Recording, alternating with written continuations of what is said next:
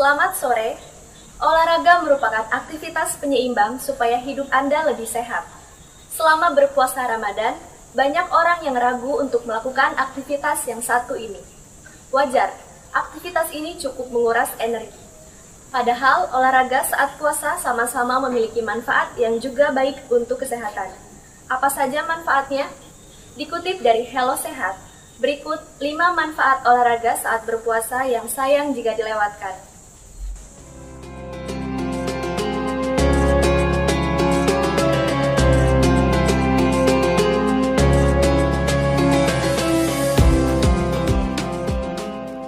Meningkatkan imunitas tubuh.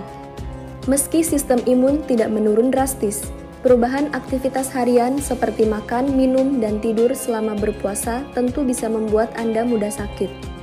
Ketika itulah menjalankan olahraga saat puasa bisa membawa manfaat yang baik. Olahraga diakui dapat meningkatkan sistem imun sehingga membuat tubuh jadi lebih kuat melawan virus dan bakteri penyebab infeksi.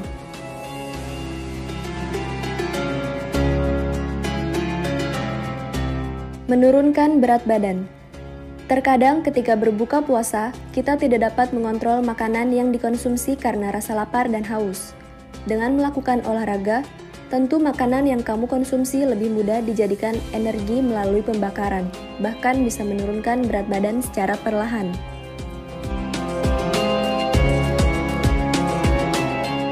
Mengusir rasa malas dan kantuk. Dengan berolahraga pada saat puasa, mampu menghindarkan kamu dari kondisi malas serta mengantuk. Aktivitas fisik yang dilakukan dapat mengubah lemak tubuh menjadi glukosa yang mengusir rasa lelah dan kantuk. Detoksifikasi tubuh tetap lancar. Melakukan olahraga saat puasa akan membantu proses detoksifikasi pada tubuh. Berolahraga mampu memperlancar aliran darah dan kelenjar getah bening.